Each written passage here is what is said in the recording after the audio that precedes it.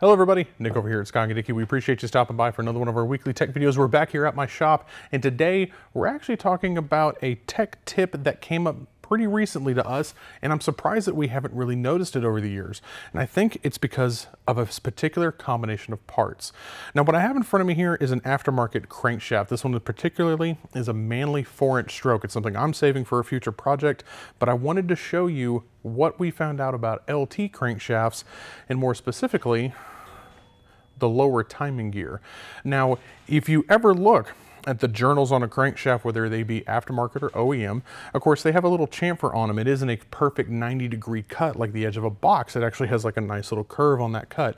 It adds to strength and also it's easier to machine. But the problem is, is that sometimes you put some of this stuff together you have to make sure to get special parts. Some of you guys probably have known about this. You have to get narrowed bearings for some of these aftermarket cranks because of that chamfer. If you run a full width OEM style bearing, you actually can burn the edges off of it and cause a lot of trouble.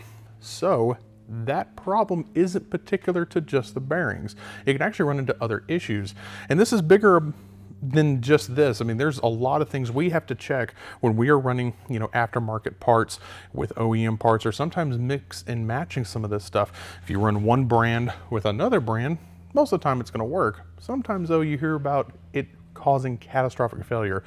And that's what this is. If you take a stock OEM lower crank gear right here and you press it all the way on to an LT crankshaft, it either will not go on all the way, which can cause issues, or if you do try to force it in all the way, the chamfer on the inside of here does not match the bigger chamfer on an aftermarket crankshaft, and that is aftermarket crankshafts I'm talking about specifically. It can actually split one of these. Well, you can't have this split. That can cause problems, of course, with your oil pump. Remember, the oil pump's being driven off of this.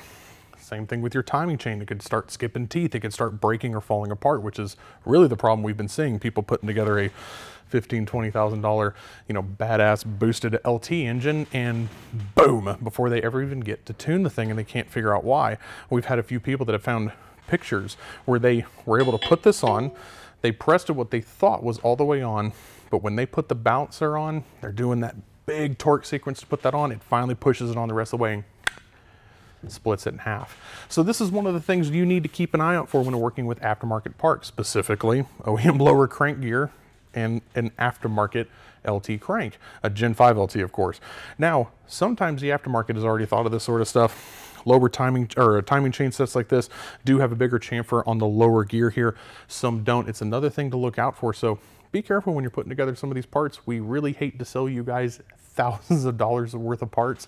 And then months later, when you finally get it together and get it tuned, we're having to sell you all those parts again. Believe me, we're in the business to make money, but not like that. That's not fun. That's not fun for us, and that's definitely not fun for you or your pocketbook, or probably even your wife who doesn't want to hear about you having to build one of these twice. So, wanted to share that information with you.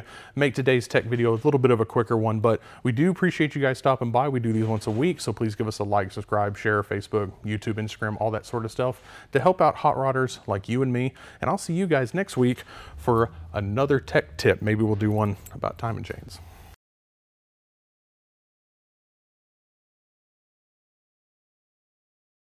Now, if you are wanting to run one of the OEM style single chains on your LT build and you do have an aftermarket crank, what I've been holding in my hand here is actually a product from our good friends at Texas Speed and Performance.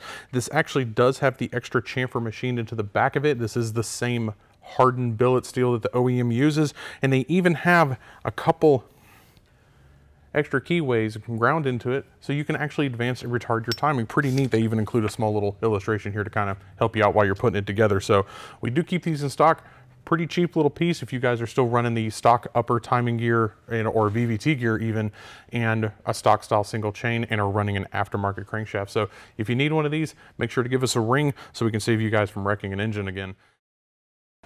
Nick here at Scoggin-Dickey. Today I'm a, I'm a little cranky.